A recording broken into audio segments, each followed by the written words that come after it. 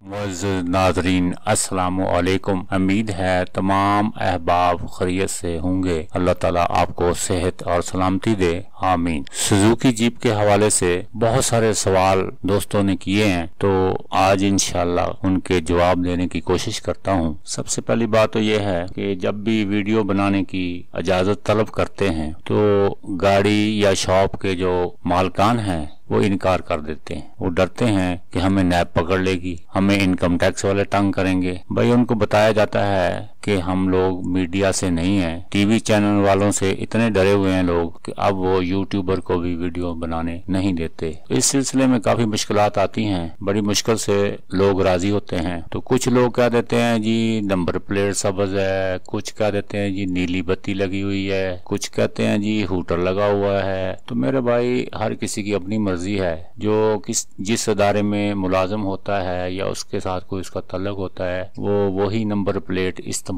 کر لیتے اس کا فائدہ ان کو یہ ہوتا ہے کہ ٹریفک والے ان کو نہیں روک دوستو، ملک کے اندر بہت ساری ریپیرنگ کی ورکشاپس ہیں۔ ڈینٹنگ پینٹنگ بھی وہ لوگ کرتے ہیں۔ تو بہت سارے لوگوں کا جو شوق ہے، خاص طور پہ جیپ کے بارے میں، وہ آرمی ایکشن سے یا کسی دوسرے ادارے کی جو نیلامی ہوتی ہے، اس میں سے گاڑی لے لیتے ہیں اور پھر اس گاڑی کو تیار کرواتے ہیں۔ اس میں یہ ہوتا ہے کہ ماڈل تو اس کا وہی رہے گا، لیکن جس ٹائم رجسٹریشن کروائیں گے، اسی ٹائم جو ڈیٹ ہوگی، جو سن ہوگا وہ لکھا جائے۔ گا جو ڈیمیج باڈیز والی گاڑیاں ہوتی ہیں، بہت سارے مکینک بالکل اس کا چیسز وہی رہنے دیتے ہیں اور باقی باڈی چینج کر دیتے ہیں۔ انجن بھی چینج کر دیتے ہیں۔ مطلب جو آپ کروانا چاہیں وہ کر دیتے ہیں۔ چونکہ چیسز وہی ہوتا ہے، تو مین چیز ہی چیسز ہے۔ تو اس وجہ سے ان کے ڈاکومنٹس بھی وہی رہتے انجن اگر چینج کیا ہے تو اس کا نمبر اکسائز آفس میں جا کے انٹری ہو جاتا ہے۔ لہٰذا ان کو کوئی پریشانی نہیں ہوتی۔ اب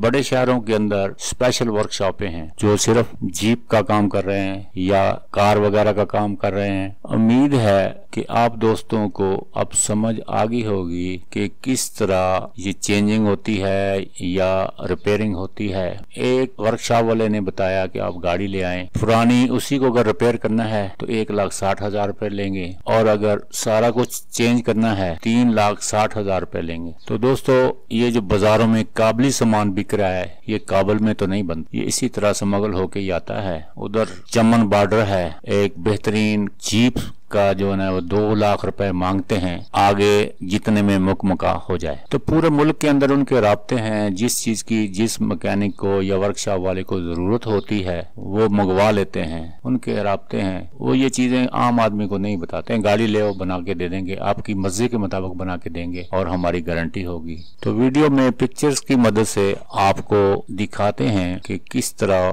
باڈی چینج ہوتی ہے، کس طرح سامان چینج ہوتا ہے، فریم کیسے ہوتا ہے۔ تو رہ گئی قیمت والی بات۔ ہر کسی کی اپنی قیمت ہے، جس طرح کا کام ہے، اس طرح کی قیمت ہے۔ بہرحال، بہت زیادہ تو نہیں ہے، لیکن شوقین حضرات گاڑیاں لے بھی رہے ہیں، بنوا بھی رہے ہیں اور چلا بھی رہے ہیں۔ ظاہر ہے انہوں نے بنوائی ہیں تو چلانے کے لیے بنوائی ہیں۔ اس سے ان کی صحت پر کوئی اثر نہیں پڑتا۔ عام آدمی کو میرا مشورہ یہ ہے کہ نان کسٹم پیڈ جو گاڑی ہے، اس کو بالکل نہ لیں، کیونکہ پاکستان کے کسی بھی قانون کے تحت وہ رجسٹرڈ نہیں ہو سکتا۔ ہاں جس طرح جعلی سنتیں بن جاتی ہیں، بورڈ کے اندر کچھ چھوڑتے ہیں لوگ جو جعلی سند دے دیں گے، آپ کو پیسے لے لیں گے۔ اسی طرح ایکسائز آفس میں بھی ایسے لوگ پائے جاتے ہیں جو کہ جعلی آپ کو بنا کے دے دیں گے۔ کاپی تو وہ ایک نمبر نظر آئے گی، لیکن اس کا ریکارڈ نہیں ہوگا۔ پچھلے دنوں ایک صاحب بیچارے غریب آدمی تھے، بڑی مشکل سے انہوں نے ایک کیری ڈبا لیا اور پھر تنی کس نے مخبری کی یا جنہوں نے بیچا تھا انہوں نے مخبری کر دی۔ وہ انہوں نے پکڑ لیا ایکسائز والوں نے۔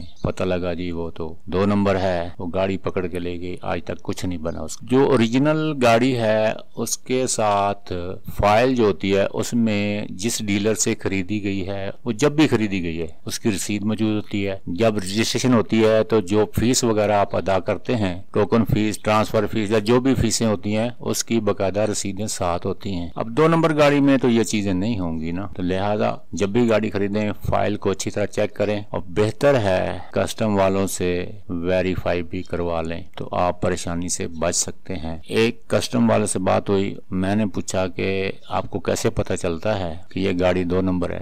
وہ کہنے لگا جی پہلی بات تو یہ ہے کہ نان کسٹم پیڈ یا دو نمبر گاڑی لوگ ہمیں آ کے اطلاع دے دیتے ہیں۔ ہمارے پاس لیپ ٹاپ کے اندر پورے ملک کا ڈیٹا موجود ہے۔ وہ ہم چیک کر لیتے ہیں تو گاڑی ہمیں پتا چل جاتا ہے کہ اس کی کیا پوزیشن ہے۔ اوریجنل ہے، دو نمبر ہے، کیسے ہے؟ ایک ایک نمبر کی دو دو فائلیں بھی نظر آتی ہیں۔ تو میرا خیال ہے کہ جو جیپ کے حوالے سے دوستوں نے سوال کیے تھے، اس کا جواب اس ویڈیو میں انہیں مل گیا ہے۔ تو چینل کو لائک کرنا نہ بھولیں۔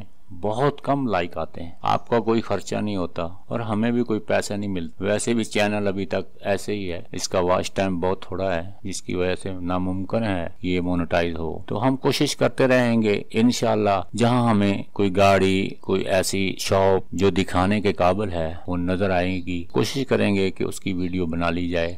کیونکہ آپ کا، آپ کو پتا ہے کہ یوٹیوبر کا کام ہی یہی ہے کہ وہ سارا دن گھومتا رہتا ہے اور جہاں کہیں ہوٹل پہ یا کسی جگہ پہ اس کو کوئی گاڑی یا کوئی اس کے مطلب کی چیز نظر آتی ہے تو وہ ویڈیو بنانے کی ضرور کوشش کرتا ہے۔ بعض اوقات اس میں کامیابی بھی ہوتی ہے اور بعض اوقات لوگ بڑی سختی سے منع کر دیتے بات وہی ہے کہ ٹی وی چینلوں کے ڈرے ہوئے لوگ اب ہر چیز سے ڈرتے ہیں کہ ہمیں جی نیب پکڑ لے گی، ٹیکس والے پکڑ لیں گے۔ تو یہ ان کے خدشات ہوتے ہیں۔ امید ہے آج کی ویڈیو آپ کو پسند آئی ہوگی۔ مزید ویڈیو دیکھنے کے لیے ہمارے چینل کو سبسکرائب کیجیے، زیادہ سے زیادہ لائک کریں اور اپنے حلقہ احباب میں شیئر بھی کریں۔ آپ کا بہت بہت شکریہ۔